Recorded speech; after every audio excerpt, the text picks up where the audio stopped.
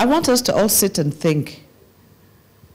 We're looking at stereotypes, we're looking at culture, we're looking at health. And I will put it out there and ask you are women the victims or the perpetrators of this? Or is it really a combination of both?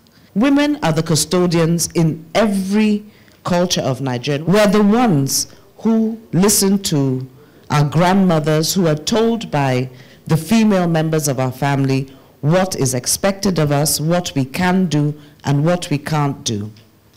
A lot of the harmful practices are actually perpetrated on us by our grandmothers. We talked of female genitalia uh, mutilation, female circumcision.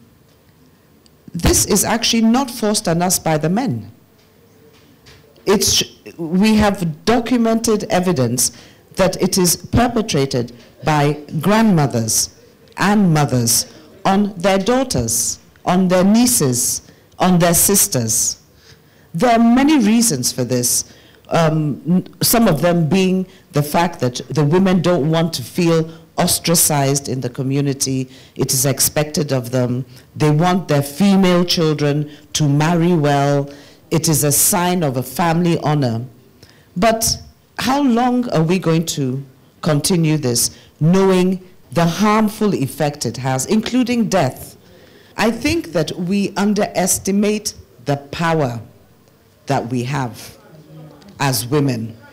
We tend to think that we are cornered by culture, society, what other people will think of us. We have no idea that if two or three women come together to say, no, you can't do this to my sister, you can't do this to my daughter, you'll be surprised.